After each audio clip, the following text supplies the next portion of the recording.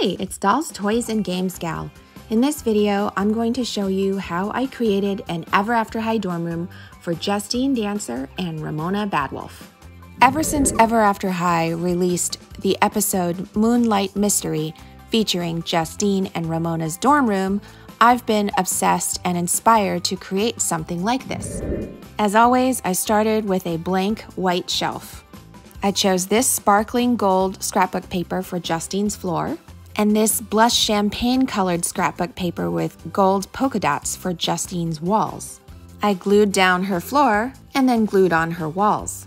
To cover up the white space at the top and the bottom of the walls, I'm using this sparkling silver scrapbook paper and cutting them into one inch tall strips and gluing them at top and bottom. For Ramona's side, I'm using this dark blue felt for her floor and this dark blue scrapbook paper with gold brush strokes for her walls. Here I've glued everything in place, but just like with Justine's side, I need to cover up the top and bottom margins. And for that, I'm using this crafting tape. I like the roll of tape on the left because it looks like stone. I'm going to use this project tape to create a wooden floor that divides the room.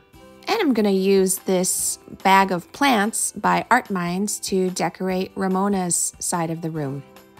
So now we have everything covered and looking nice, but I do want to create a little bit of a border between Justine's floor and the wooden floor. So I'm going to use this golden sparkly trim or border. And now I think the room looks very neatly divided between Justine's side and Ramona's side and a common wood floor area. I like this nightstand that looks like a slab of stone on Ramona's side of the room. So I'm going to imitate that using these aquarium rocks. And I did hot glue on some of this green ground cover to look like some moss was growing on the rocks.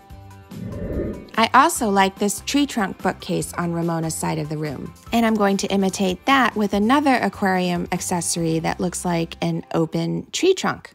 But the problem is, if I just put this in the corner, it's not going to be quite tall enough. And if you recall, Ramona's tree trunk bookcase goes almost all the way to her ceiling. So I'm going to elevate it using a couple more aquarium rocks. And now it's the perfect height. To make a shelf for the books to rest on, I folded up a business card and covered it with wood grain project tape. And then I hot glued the shelf to the inner opening of the tree trunk so I could put books on it. And then I stole some books from the Ever After High library I made and shoved them in there to make it look like her tree trunk bookcase. Boy, I really hope her bed fits in between her nightstand and the bookcase. Ah! Oh my gosh, it just barely perfectly fits. Next, I wanted to make a chandelier like Ramona has. So I bought some wood branch cutouts and painted them brown on both sides.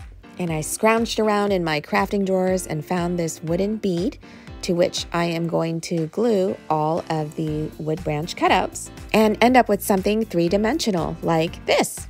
And these are some LED fairy lights that are powered by batteries that I got off of Amazon. And you can flip them on with a switch and they light up like this. And I wound the fairy lights all throughout the branches, so when I flip the switch, it looks kind of like Ramona's chandelier. Well, hopefully. I added a little dream catcher pendant to the bottom and strung it through a bead so that I could attach it to the ceiling. I think it looks really pretty and I really like how it lights up the room. And then, of course, I'm hiding the cord behind her rock nightstand. To make Justine a nightstand, I bought four of these ballerina wood shapes and painted them black and gold. I found this round wooden plaque and painted it gold and added Mod Podge for some shine. And then I hot glued the four ballerina wood shapes beneath the round table shape. But it seems a little bit unstable because there's nothing holding the two sides together. So I am going to take this used lollipop stick Yep, my daughter ate the lollipop part of it. Paint it black and use it to attach the two sides for some more stability. To make Justine a ballerina lamp, I bought ballerina wood shape cutouts and painted them pink. And then I wanted to add a little bit of gold to them to seem like they are wearing gold tutus.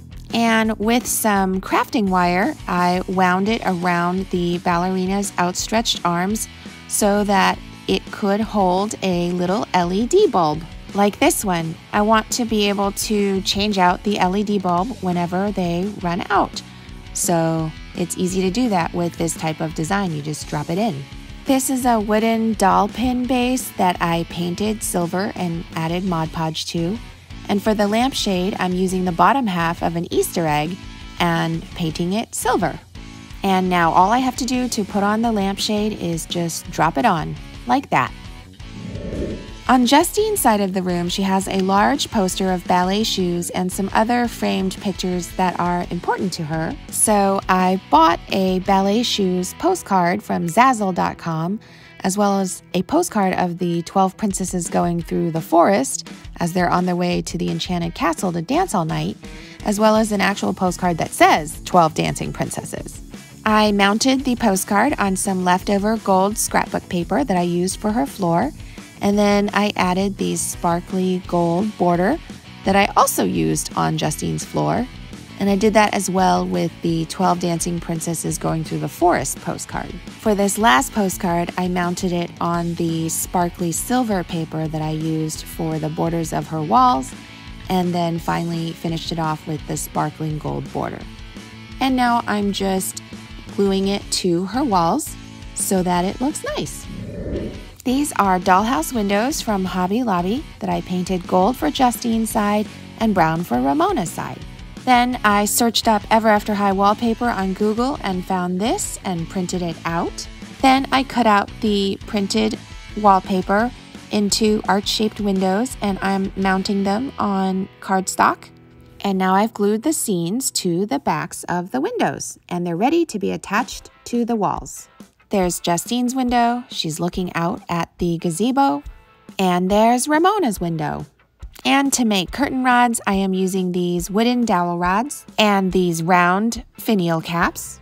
And the top curtain rod is Ramona's and the bottom one is Justine's.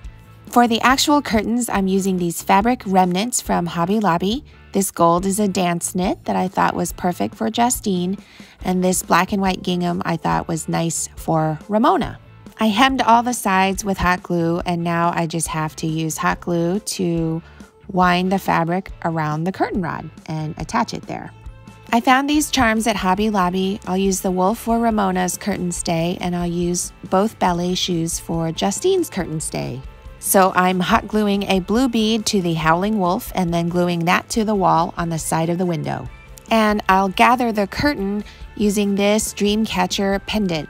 And when I want to attach it to the wall, I just need to move it and hook it around the wolf. For Justine's side, I discovered that the space I had was not big enough for her curtain rod, so I had to cut it down quite a bit, as you can see, so she has a much narrower curtain. I'm hot gluing the two ballet shoes together and then hot gluing those to a bead so that I can attach that to the wall. And similarly, when I want to move the curtain to the side, I'll just take the black curtain sash and hook it around the ballet shoes. One more piece of furniture that I got for Justine was this little wooden chest. I painted it silver and gold, and as a final decorative touch, I added some of the sparkling gold trim border to it as well. And ta-da! Justine Dancer and Ramona Badwolf now have a dorm room at Ever After High. Please comment down below and let me know what you thought of this video and this room. And thank you so much for watching.